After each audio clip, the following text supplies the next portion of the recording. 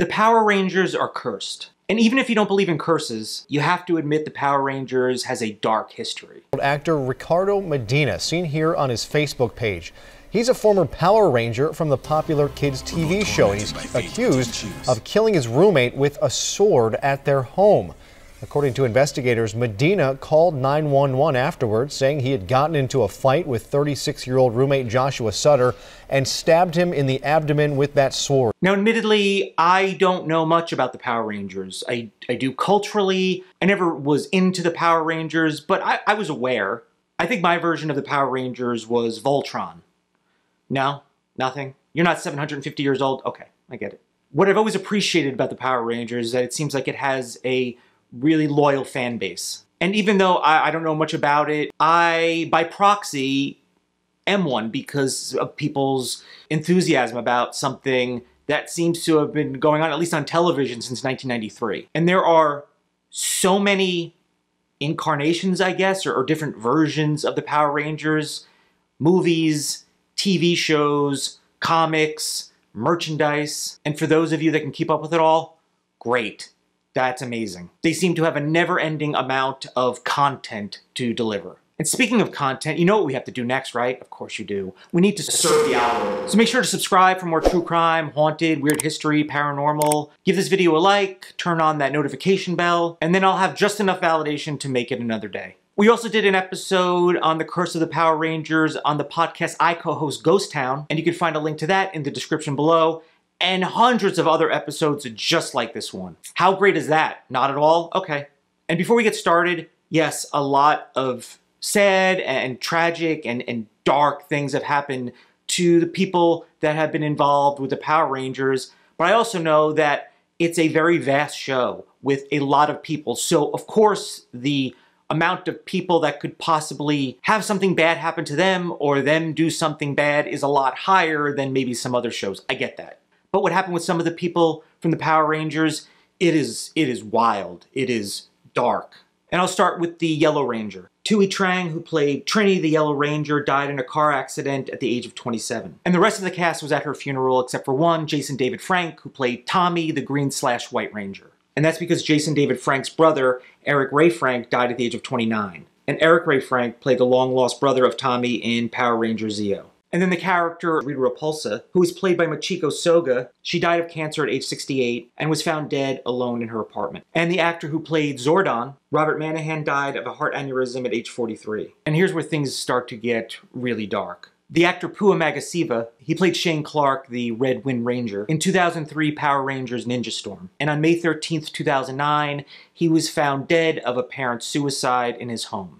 And apparently, previous to that, he had a lot of issues, a lot of legal issues, a lot of issues with domestic violence.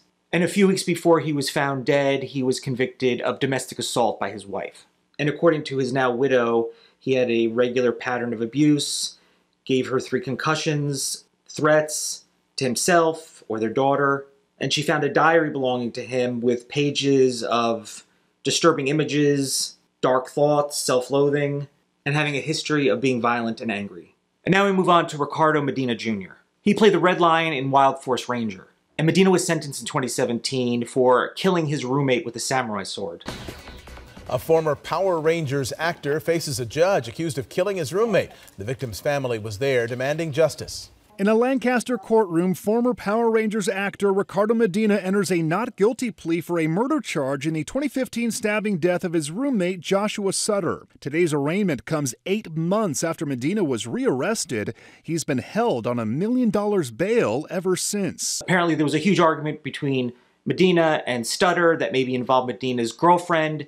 Medina and his girlfriend went into his room to, I guess, stop arguing, and then Joshua Sutter went to the room, knocked down the door, and then Medina stabbed him with a sword, killing him. He claimed self-defense and then pled to voluntary manslaughter and is serving six years in prison. A judge in Lancaster sentenced this man, Ricardo Medina, to six years in prison.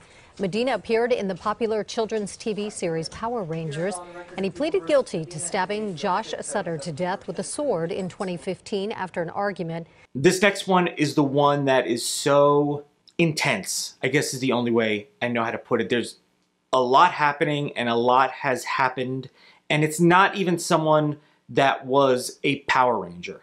But the story got so much attention because of how bizarre and how tragic it is. And when there's a connection to anything culturally, especially uh, an actor or, or an artist or a musician, the media will get its hooks into it. And it has really become connected with the Power Rangers universe, even though this person was really just ancillarily part of the Power Rangers. And this involves Skylar DeLeon. He played kid attempting to play soccer in the Mighty Morphin episode Second Chance when he was 14. And that's his only connection to the Power Rangers, except for all the media attention, and then obviously this video here is, is I guess, part of that.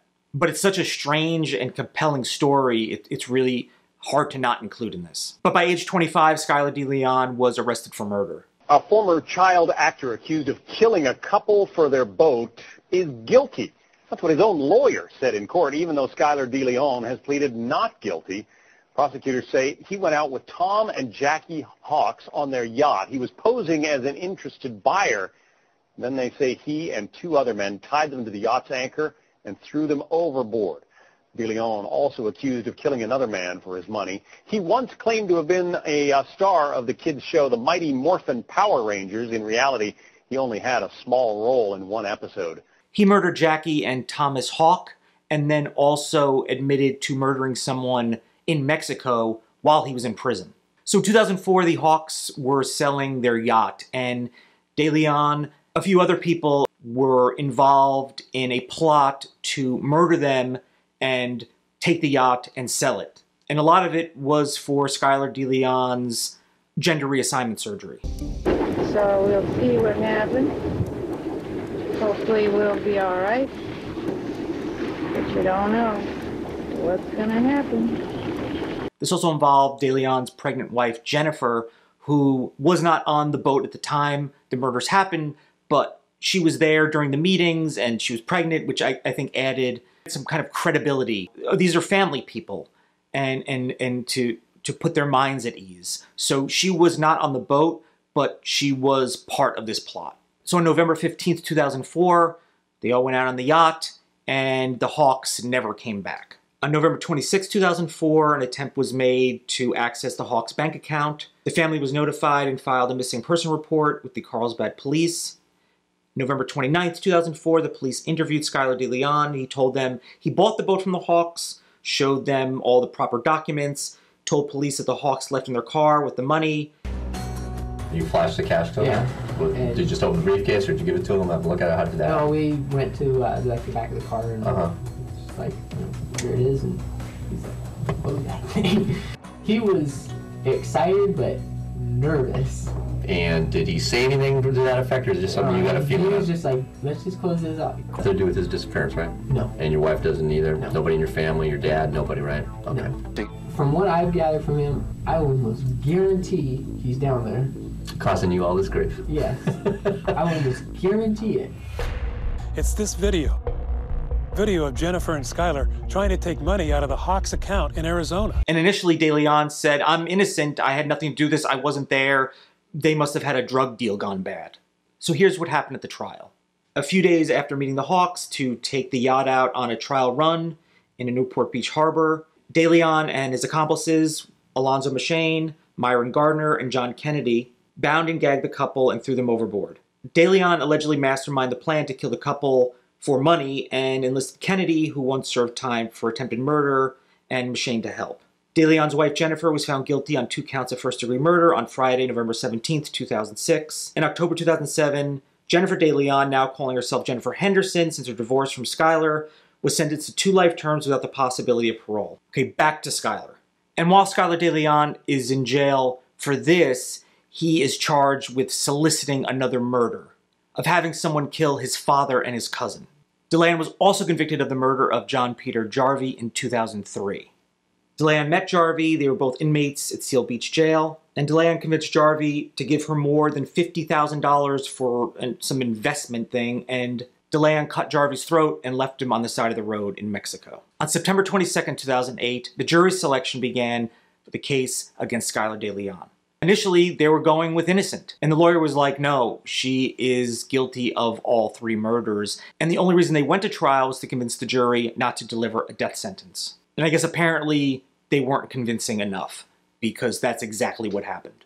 DeLeon was convicted of three counts of first degree murder, and on November 6, 2008, the jury recommends the death penalty. Skylar DeLeon's name was legally changed from Skylar Julius DeLeon to Skylar Preciosa DeLeon, and DeLeon's gender was officially changed to female in 2019 but remains in a men's prison. Jennifer Henderson, who is now divorced from Skylar DeLeon, is serving a life sentence without parole. And she gave birth to their second child slightly before they were arrested.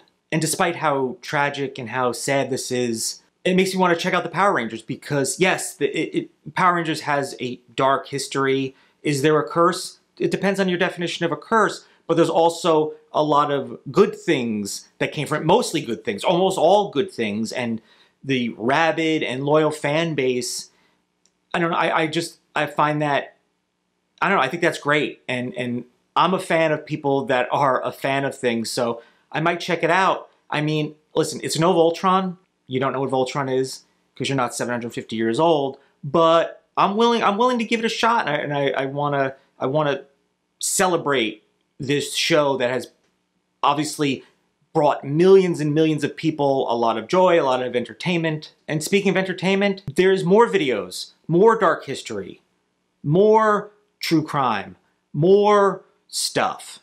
That's what you need in your life, right? More stuff, more content. Well, you got it